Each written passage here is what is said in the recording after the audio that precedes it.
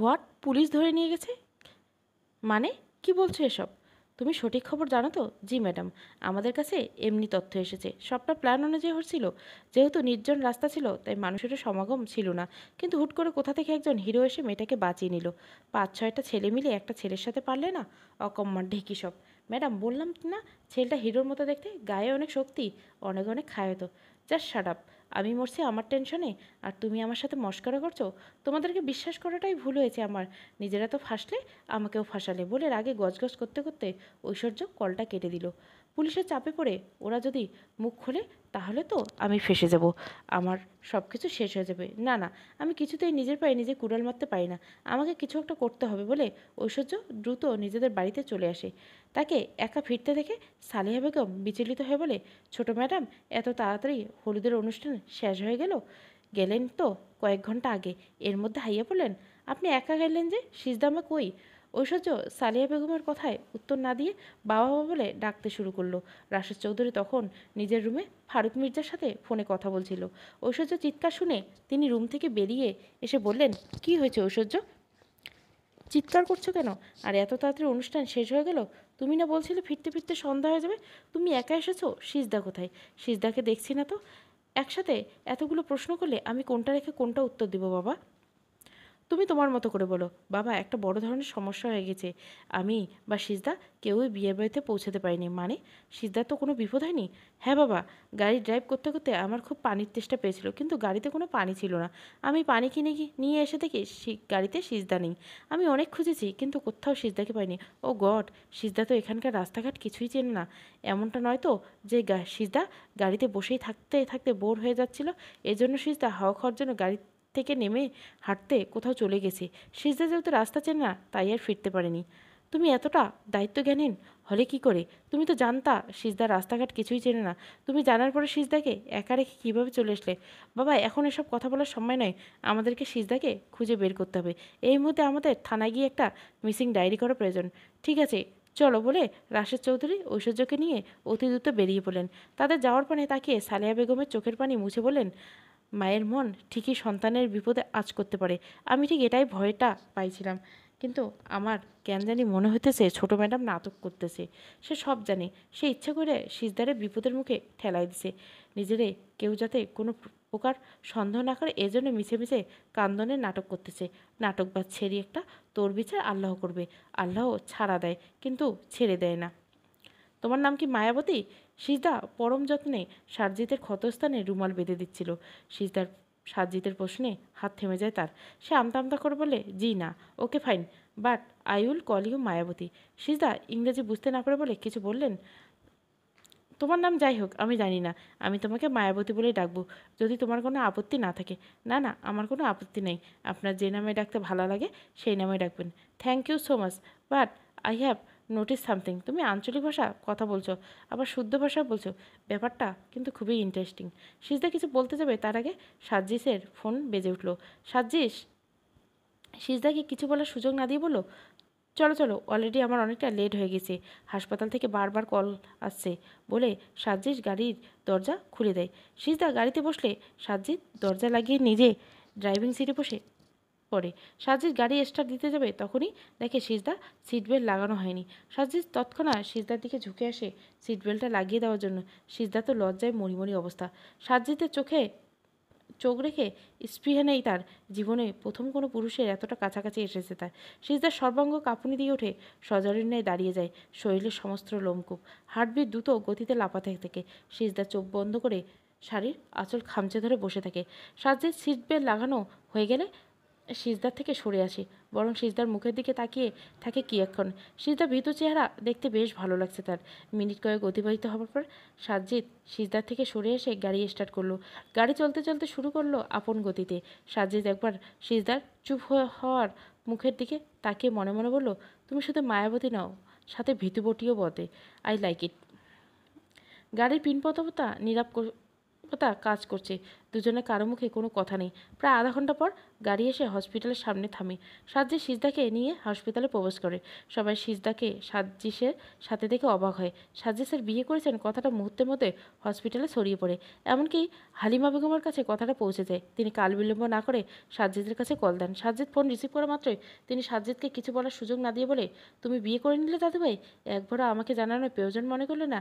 এজন্য তুমি সিজদার মতো একটা ভালো মেয়েকে বিয়ে করতে চাইছিলে না? এই ছিল তোমার মনে? আমি এক্ষুনি আসছি হসপিটালে। আমিও দেখতে চাই তুমি কোন হুড়পড়িকে বিয়ে করছ। কামান দাদু, তোমাকে কে বলল আমি বিয়ে করছি? আমি বিয়ে করলে এতক্ষণে বউ নিয়ে বাসর ঘরে থাকতাম, বউ নিয়ে হাসপাতালে আসতাম না। রাস্তায় একটা মেয়ে বিপদে পড়েছিল, আমার সময় নেই, তাকে দেখে তার বাসায় পৌঁছে দিতে পারিনি। আমার সাথে করে হাসপাতালে নিয়ে এসেছি, আমার কাজ শেষ হলে তাকে তার বাসায় পৌঁছে দেবো। আমি তো ভয় পেয়ে গেছিলাম দাদুভাই don't panic am I not married আমি বাসায় ফিরে সবটা তোমাকে বলব, এখন রাখছি। বাইবেলে সাজ্জিদ ফোন পকেটে রেখে নিজের কাজে মনোযোগ দিল। সিজদা সাজ্জিদের চেম্বারে এক কোণে গুটি মেরে বসে আছে। সাজ্জিদ পেশেন্ট দেখছে, কিন্তু বারবার বেহায়া চোখ, বারবার সিজদাকে লুকিয়ে লুকিয়ে দেখছে। লুকিয়ে দেখার মাঝে এক ধরনের ভালো লাগা কাজ করছে তার মধ্যে। তার কানে অরিজিৎ সিংয়ের গানের লিরিক্স বাড়ছে তোকে একা দেখার লুকিয়ে কি মজা? পুলিশ এসেছেন? কেন? আপনার সাথে যে ম্যাডাম রয়েছে, তাকে নিয়ে যাওয়ার জন্য। ম্যাডামের মামা থানায় মিসিং ডায়েরি করেছেন। প্রত্যেক থানায় ম্যাডামের ছবি পাঠিয়ে দেওয়া আছে। পুলিশ হাজির। রোডে সিসিটিভি ক্যামেরা আপনার সাথে ম্যাডামকে দেখেছেন। তারা শিওর হয়ে এসেছেন যে ম্যাডাম আপনার সাথে এসেছেন। এখন কি করবেন, স্যার? ম্যাডাম কি চলে যাবেন? তুমি এমন রিয়াক্ট করছ যেন মেয়েটা আমার বিয়ে করা বউ, তাকে সারা জীবনের জন্য আমার সাথে রেখে দেওয়ার জন্য নিয়ে এসেছি। ম্যাডামকে বিয়ে করলে মন্দ হতো না, স্যার। আপনাদের দুজনকে দারুণ মানেছে। মনে হচ্ছে আমি রণবীর কাপুর আর আলিয়া ভট্টকে দেখছি। তুমি দাদুকে কল করে আমার বিয়ের মিথ্যে নিউজ দিয়েছ। তাই না, রামিম? সরি স্যার, আপনার দাদু আমাকে বলেছিল আপনি কোথায় যান কোন মেয়ের সাথে কথা বলেন, কোন মেয়ের সাথে দেখা করেন, সবটা তাকে ইনফর্ম করতে। দাদু তো গুরুজন। গুরুজন মানে সম্মানীয় ব্যক্তি। তাই দাদুর কথা অমান্য করলে দাদুকে অসম্মান করা হতো না। তাই তো দাদুকে আপনার সব আপডেট দেই। Good job carry on thank you so much sir ম্যাডামকে নিয়ে যাই তাহলে? তুমি যাও, আমি মায়াবতীকে নিয়ে আসছি। মায়াবতীকে স্যার স্যারজির নিজের কাজ রেখে ছেড়ে রামিমের দিকে চোখ তুলে তাকালে রামিম শুকনো ডোক গিলতে আমতা আমতা করে বলল আমি আসছি, স্যার। রামিম যেতে সাজিদ সিজদার পাশে দাঁড়িয়ে সিজদাকে কয়েকবার মায়াবতী বলে ডাক দেয়। কিন্তু সাজিদের ডাক সিজদার কান অব্দি পৌঁছায় না। সিজদার কানে ইয়ারফোন গিজে দিয়ে সাজিদের ফোনে কার্টুন দেখছে। কার্টুন তার অনেক পছন্দ। সিজদা ফ্রি টাইমে সালিয়া বেগমকে সাথে নিয়ে কার্টুন দেখতে বসে যায়। সাজিদ কাজের ফাঁকে লক্ষ্য করছিল সিজদা বসে থাকতে থাকতে বোর হয়ে যাচ্ছে।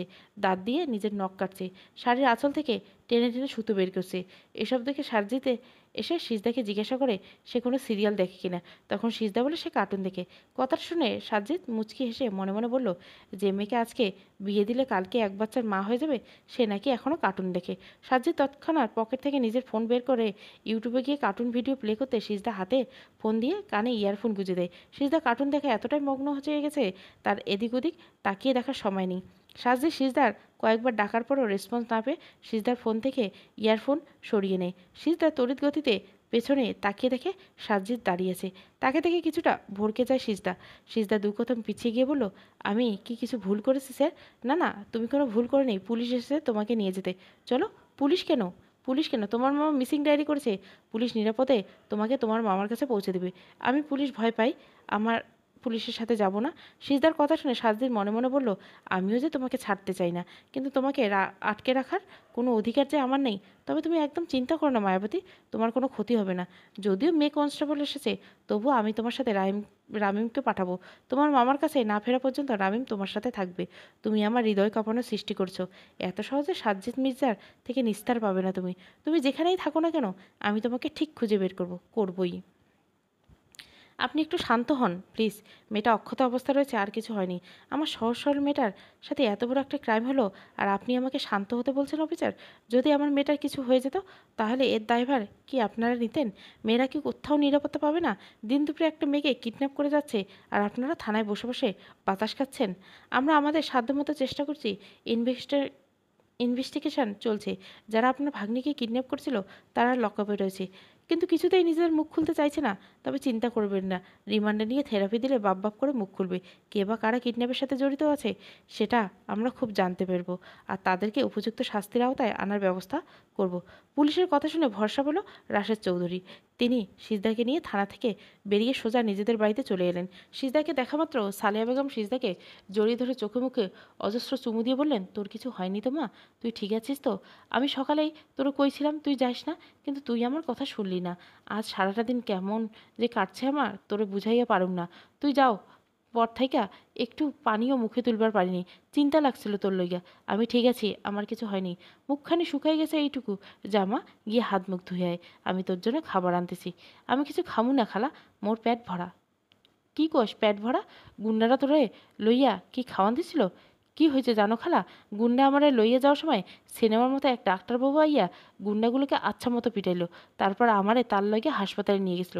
ডাক্তারবাবু অনেক ভালো মানুষ, আমারে বিরিয়ানি কিনে খাওয়াইছে, তার মোবাইলে কার্টুন দেখতে দিয়েছে। ও মা সিজদা, ডাক্তারবাবুর কথা কইতে গিয়ে তোর মুখ এমন লজ্জায় লাল হইয়া যাইতেছে কেন? তোর মন আবার ডাক্তারবাবুরে দিয়ে আইলি না তো? কি যে কও না তুমি খালা? বলে সিজদা নিজের রুমে চলে গেল। রাশেদ চৌধুরী ফ্রেশ হয়ে এসে ইমেল চেক করে দেখে তাকে তার বিজনেসের কাজের জন্য দেশের বাইরে যেতে হবে। তিনি চিন্তায় পড়ে গেলেন, সিজদাকে একা রেখে তিনি যেতে চাইছেন না, আবার না গেলেও অনেক টাকার লোকসান হবে যাবে। তিনি কি করবেন বুঝতে না পারে হালিমা বেগমের কাছে কল দিলেন। হালিমা বেগম কল রিসিভ করতেই তিনি সালাম দিলেন। হালিমা বেগম, শরীর ঠিক আছে কি না জিজ্ঞাসা করার পর বলেন কাকিমা, আমি সিজদার বিয়েটা নিয়ে দেরি করতে চাইছি না। আমি চাচ্ছি শর্ট টাইমে শুভ কাজটা শেষ করতে। এটা তো উত্তম প্রস্তাব, কিন্তু মির্জা পরিবারের ছেলের বিয়ে বলে কথা একটু ধুমধাম করে উদযাপন না করলে হয়? রাশেদ চৌধুরী ভাবলো, সিজদার কিডন্যাপ হওয়ার ব্যাপারটা হালিমা বেগমের সাথে শেয়ার করবেন। কিন্তু পরক্ষণে ভাবলো, সিজদার কিডন্যাপ হওয়ার ব্যাপারটার কথা শুনে সিজদার চরিত্র নিয়ে কথা উঠবে। এই ভয়ে রাশেদ চৌধুরী কিডন্যাপ ব্যাপারটা হাইড করে বললেন, আমি তো সিজদার ব্যাপারে সবটাই আপনাদেরকে বলছি কাকিমা। সিজদার উপর অ্যাটাক হয়েছিল। আবারও হতে পারে। আমি দেশে থাকছি না। মেয়েটাকে বিধির ভরসায় রেখে যেতে পারছি না। তাই ভাবলাম মেয়েটাকে যদি আপনার হাতে তুলে দিতে পারতাম, তাহলে আমি নিশ্চিন্তে থাকতে পারব। ঠিক আছে, আমি দেখছি কি করে যায়। কিন্তু একটা সমস্যা হচ্ছে রাজেদ আমি সারজিৎকে চিনতে ভুল করেছি। সারজিতের উপর বিশ্বাস, ভরসা থেকে সারজিতের সাথে সিজদার বিয়ে ঠিক করে এসেছিলাম। কিন্তু সারজিৎ আমার মান রাখেনি, তাই আমি সিদ্ধান্ত নিয়েছি সাইফেনের সাথে সিজদার বিয়ে হবে। আমি সারজিৎকে চিনতে ভুল করেছি।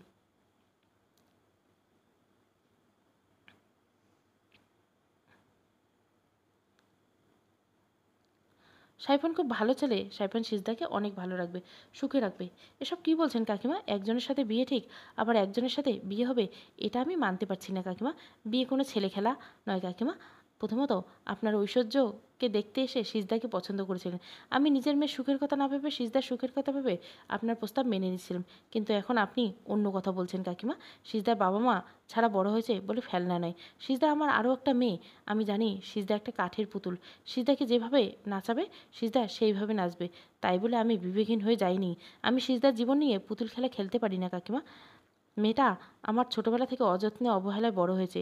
যদি চাইলে কিছু করতে পারিনি, আমাকে মাফ করবেন কাকিমা, আমি সিজদার জীবন নিয়ে ছিনিমিনি খেলতে পারব না। তুই আমাকে ভুল বুঝছিস, রাসেশ। আমিও চাই সিজদা ভালো থাকুক, সুখে থাকুক। তুই তো জানিস সাজ্জিৎ একজন নাম করা কার্ডিওলজিস্ট সাজ্জিতের জন্য দেশের মেয়ের অভাব ছিল না, তবুও আমি সাজ্জিতের জন্য সিজদার মুক্ত একটা আনএডুকেটেড মেয়েকে সিলেক্ট করেছিলাম। আর আমি এটাও শিওর যে সাজ্জিদকে আমি জোর করলে সাজ্জিদ ঠিকই বিয়েটা করতো। কিন্তু আমি সাজ্জিদকে জোর করতে চাইনি। সিজদা আর সাইফুনের দুজনের ভাগ্য যেন একই সূত্রে গাঁথা। সিদ্ধা যেমন ছোটোবেলা থেকে অযত্নে অবহেলা বড় হয়েছে, তেমনি সাইফুন ছোটোবেলা থেকে অবহেলার পাত্র। সেই জায়গা থেকে সাইফুন সিজদার কষ্টটা উপলব্ধি করতে পারবে, যেটা সাজ্জিদ কখনোই পারতো না। তাই সিজদার ভালোর জন্য এমন সিদ্ধান্ত নিয়েছে, বাকিটা তোর ইচ্ছে। তুই যদি চাস তবে বিয়েটা হবে, না চাইলে বিয়েটা হবে না। আপনি আপনার কথা বুঝতে পেরেছি, কাকিমা। কিন্তু ছোট ভাইয়ের সাথে বিয়ে ঠিক হয়ে বড় ভাইয়ের সাথে বিয়ে হওয়া ব্যাপারটা নিয়ে সিজদা কেমন রিয়াক্ট করবে সেটাই ভাববার বিষয়। বিয়ের পর যদি তাদের মধ্যে মনমালিন্য সৃষ্টি হয়, যেহেতু সাজদি সিজদা দুজন কাউকে দেখেনি, সেহেতু আমার মনে হয় না কোনো সমস্যা হবে। তুই যদি রাজি থাকিস, তাহলে বিয়ের তোরজোর শুরু করে দেই। সাইফনকে ছুটি হয়েছে। সাইফন খুব শীঘ্রই চলে আসবি। তুইও দেশের বাইরে চলে যাবি, তাই আমার মনে হয় শুভ কাজে দেরি না করে যত দ্রুত সম্ভব চার হাত এক করে দেওয়াই ভালো। ঠিক আছে কাকুমা, আপনি যেটা বল, মনে করবেন সেটাই হবে। তাহলে আগামীকাল বুধবার বিয়ের শপিং বৃহস্পতিবার গায়ে হলুদ, মেহেন্দি আর শুক্রবার বিয়ে। ঠিক আছে কাকিমা, আমার কোনো আপত্তি নেই। বরং মেয়েটাকে আপনাদের হাতে তুলে দিতে পারলে আমি নিশ্চিন্তে বাইরে যেতে পারব। আমি রাখছি কাকিমা, আমার এখন সময় এসেছে সিজদার বাবার অবর্তমানে একজন বাবার দায়িত্ব পালন করা। আজ বাদে কাল মেয়েটার বিয়ে অনেক বড় দায়িত্ব কাঁধে এসেছে আমার। শোন, সিজদার বিয়ের বাবদ এক টাকাও খরচ করবি না। সিজদার বিয়ের সমস্ত খরচ আমার। তোদের বাড়ির একটা সুতাও আমি সিজদার শরীরে দেখতে চাই না। আমি তোর ব্যাঙ্ক অ্যাকাউন্টে টাকা পাঠিয়ে দেবো। এটা আপনি কি বলছেন, কাকিমা? আমি সিজদার মামা। আমার নিজের একটা দায়িত্ব আছে না? মেয়েটার জন্য আমি কিছুই করতে পারিনি, কাকিমা। এখন যখন মেয়েটার জন্য কিছু করার সুযোগ এসেছে, তখন আমাকে সেই সুযোগ থেকে বঞ্চিত করবেন না, কাকিমা। আমি আমার সাধ্যমতো চেষ্টা করব বিয়ের আয়োজনে কোনো ত্রুটি না রাখার। কাউকে কোনো অভিযোগ আনতে দিব না। তুই যা চাস তাই হবে। রাখছি এখন। ঠিক আছে বলে, কাকিমা? বলে রাশেদ চৌধুরী, ফোন রেখে সিজদা রুমে দিকে অগ্রসর হয়। সিজদা সবেমাত্র আশ্রয় নামাজ শেষ করে জায়নামাজ গুছিয়ে রেখেছে। এর মধ্যে রাশেদ চৌধুরী সিজদার রুমে প্রবেশ করে। রাশেদ চৌধুরীকে দেখে সিজদা একটা মিষ্টি হাসি উপহার দিল। কিছু বলব মামু? হ্যাঁ রে মা, বলার জন্য এসেছি। দাঁড়ায় আসো কেন? বিছানায় বসো। বসে কথা কও। সিজদার কথা শুনে রাশেদ চৌধুরী সিজদাকে বুকে টেনে নিয়ে বলো তোকে এই মুহূর্তে বিয়ে দেওয়ার কোনো ইচ্ছে ছিল না রে আমার, কিন্তু আমার যে হাত পা বাঁধা অবস্থা রয়েছে, আজকে যা হলো, এরপরও আমি তোকে বিথির ভরসায় রাখতে পারছি না। সেজন্য শুক্রবার তোর বিয়ের পাকা কথা হয়েছে। কাকিমা চাইছে বিয়েটা তাড়াতাড়ি হোক, তাই আমি আর দ্বিমত করিনি। তবে একটা সমস্যা হয়েছে মা, পাত্র বদল হয়েছে, এতে তোর কোনো আপত্তি আছে না?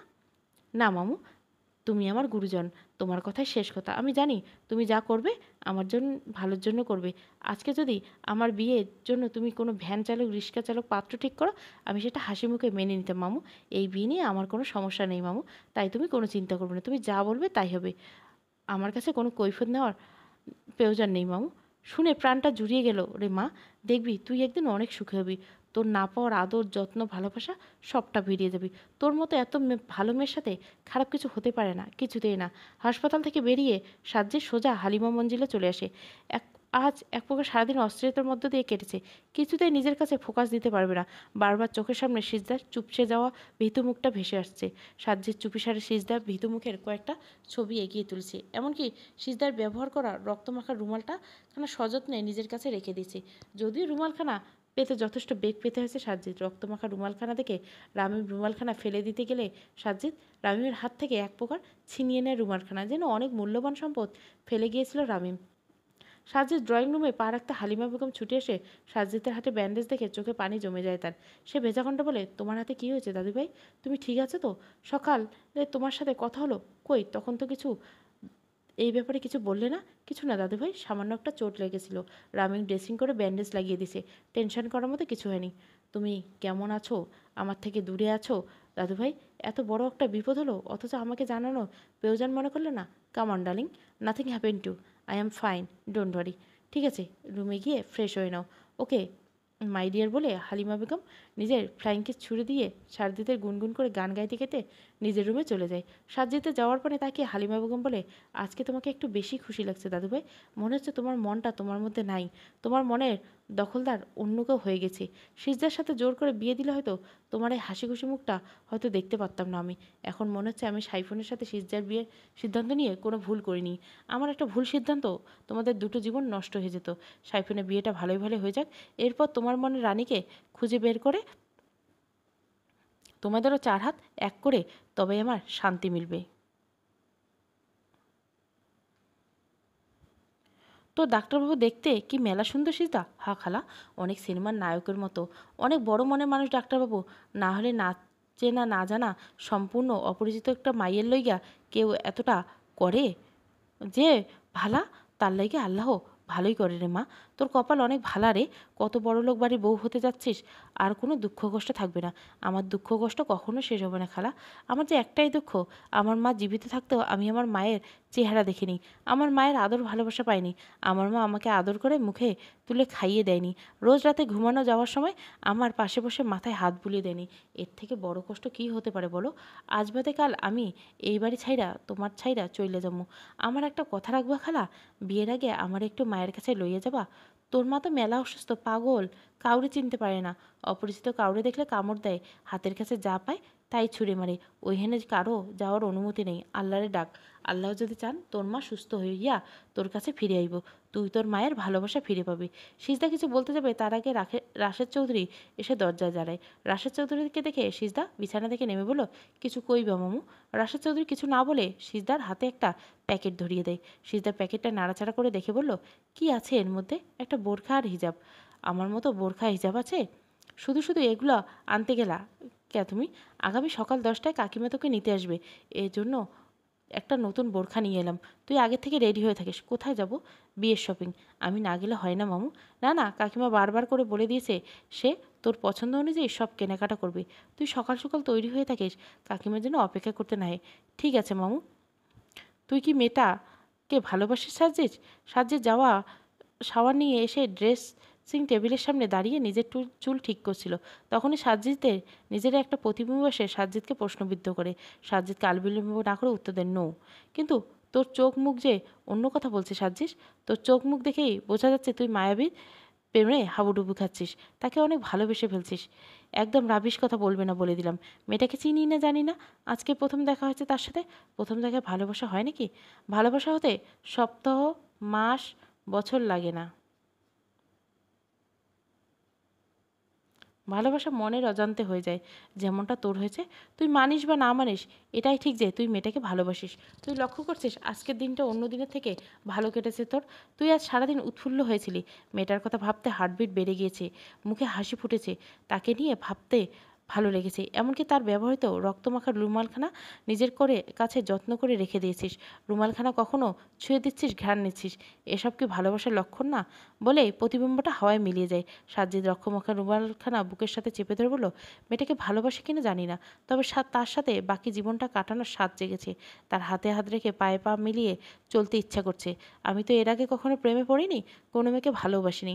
তাই বুঝতে পারছি না আমার এসব ইচ্ছে, অভিলাষে নাম কি ভালোবাসা? মেয়েটা এক চুন্নি হুট করে এসে আমার মন চুরি করে নিয়ে চলে গেল। চুন্নিটার নামে মামলা দেওয়া উচিত ছিল আমার। একা একে কী সব আবল তাবল বকছো ভাইয়া? তোমার রুমে তো তুমি ছাড়া কাউকে দেখতে পাচ্ছি না। মেলি কণ্ঠ শুনে সাজ্জেদ পেছনে ফিরে তাকিয়ে দেখে তার বোন স্বামীরা দাঁড়িয়েছে। স্বামীরা তার নিজের মায়ের পেটে বোন না হলেও স্বামীরাকে সাজ্জিদ অনেক ভালোবাসে। স্বামীরা সকল আবদার পূরণ করে। স্বামীরা দেখতে যেমন মিষ্টি তেমনই বিলিয়ান। স্বামীরা ক্লাস টেনে পড়ে। স্বামীরা রয়েছে তার ভাইয়ের মতো নাম করা একজন ডাক্তার হবে। স্বামীরাকে দরজার সামনে থাকতে দেখে সাজ্জিদ বলো দরজায় দাঁড়িয়ে আছিস কেন পাগলি? ভেতরে আয়।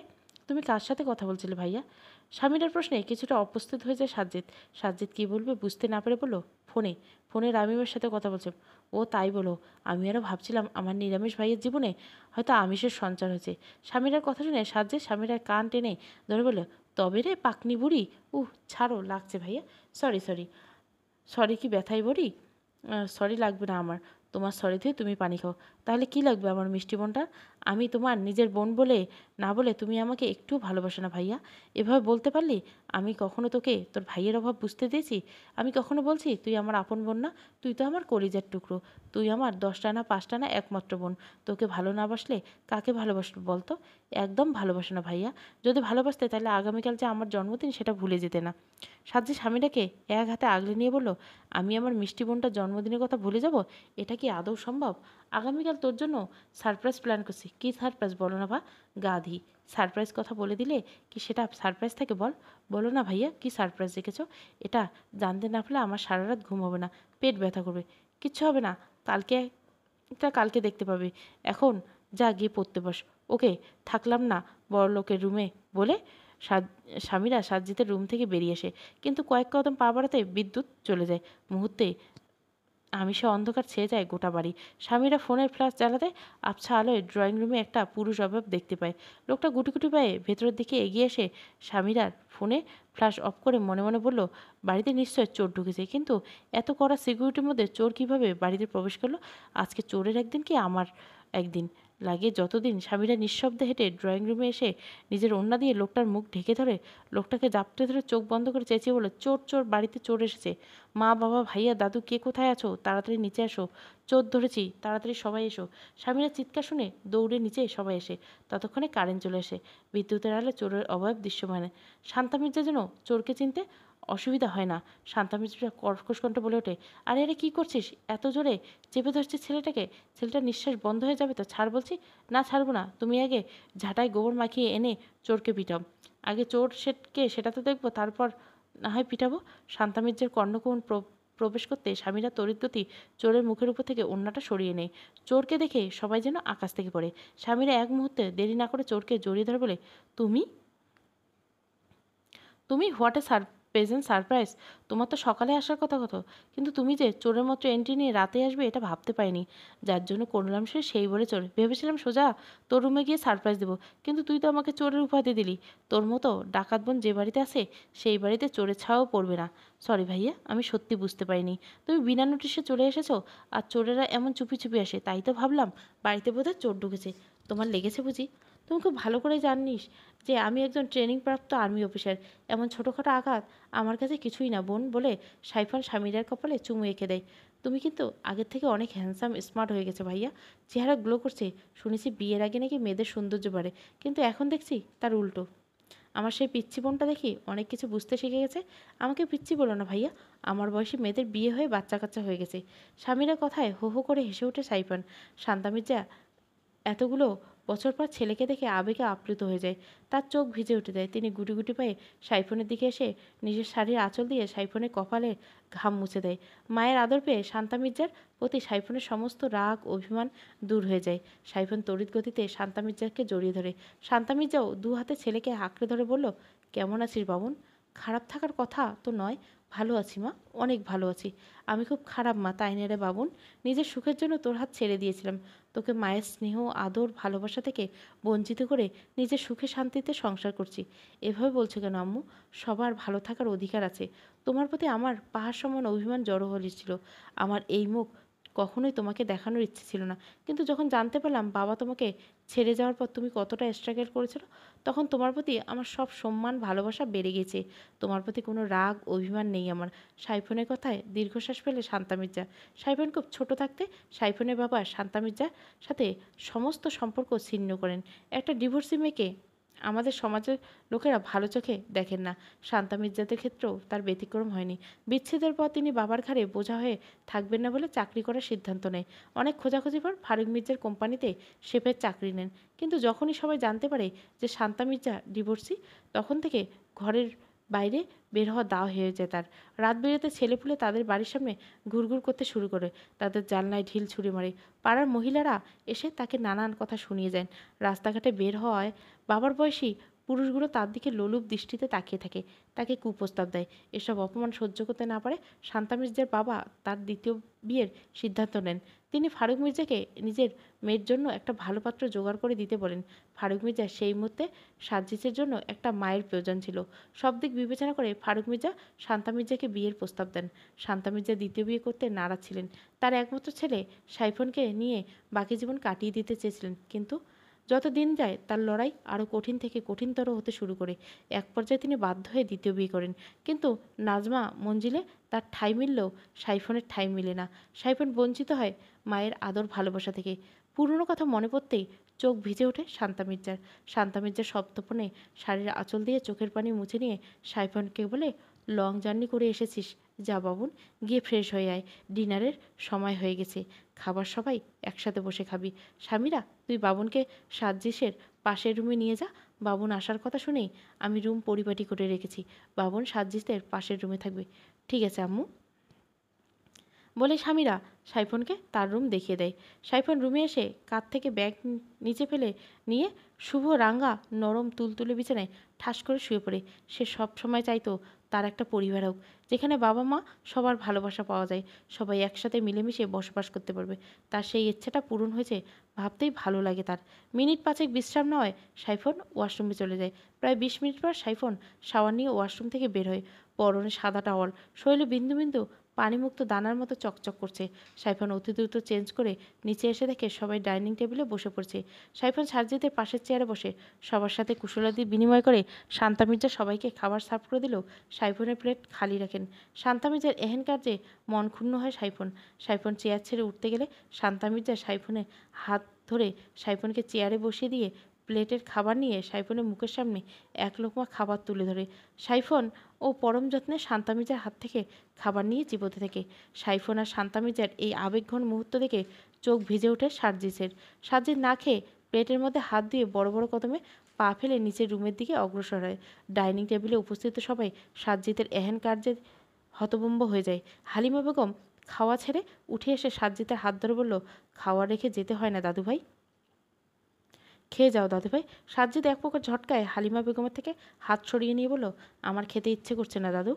প্লিজ আমাকে জোর করো না। বলে সাজ্জিদ রুমে এসে দরজা বন্ধ করে দেয়। পুরুষ মানুষের নাকি কান্না করা বারণ, কিন্তু সে এই বারণ মানতে পারে না। অজানা কষ্টে নিঃশ্বাস ভারী হয়ে আসে, চোখ থেকে পানি গড়িয়ে পড়ে তার। চেহারায় অস- অসহায়তা ফুটে ওঠে। নিজেকে বড্ড একা মনে হচ্ছে। সাজ্জিদ নিজেকে কন্ট্রোল করার চেষ্টা করেও পারে না। সে দৌড়ে গিয়ে কাবারের সমস্ত কাপড় ফেলে দিয়ে একটা ছবি, অ্যালবাম বের করে মায়ের ছবিতে অজস্র চুমুতে ভরিয়ে দিয়ে চোখের পানি ফেলে বলে, আমাকে কেন একা করে চলে গেলে আম্মু? তুমি ছাড়া কখনোই আমাকে ভালোবাসেনি। বাবা আমার জন্য মা এনেছিল, কিন্তু তিনি কখনোই আমার মা হয়ে উঠতে পারেনি। আমার মা হয়ে ওঠার থেকে মির্জাপাড়ের বউ হয়ে ওঠার বেশি আকাঙ্ক্ষা ছিল তার। জানো মা, সে কখনোই আমাকে তোমার মতো করে আদর করেনি, আমাকে ভালোবেসে নেই আজকে যেন তিনি সাইফনকে নিজের হাতে খাইয়ে দিচ্ছিল, আমার ভেতরটা জ্বলে পড়ে ছাড়খাড় হয়ে যাচ্ছিল। তোমার কথা বড্ড মনে পড়ছিল। হুটহাট তোমার অনুপস্থিতি আমাকে পীড়া দেয় মা। আমি সহ্য করতে পারি না মা। সাজ্জিদের ব্যালকনিতে এসে আনমনে আকাশের দিকে তাকিয়ে থাকে। সে রাতটা নির্ঘুমে কেটে যায় সাজ্জিদের। মন দিয়েছি তোমাকে দ্বিতীয় পর্ব। ভালো লাগলে অবশ্যই লাইক শেয়ার এবং সাবস্ক্রাইব করবেন। Thank you for watching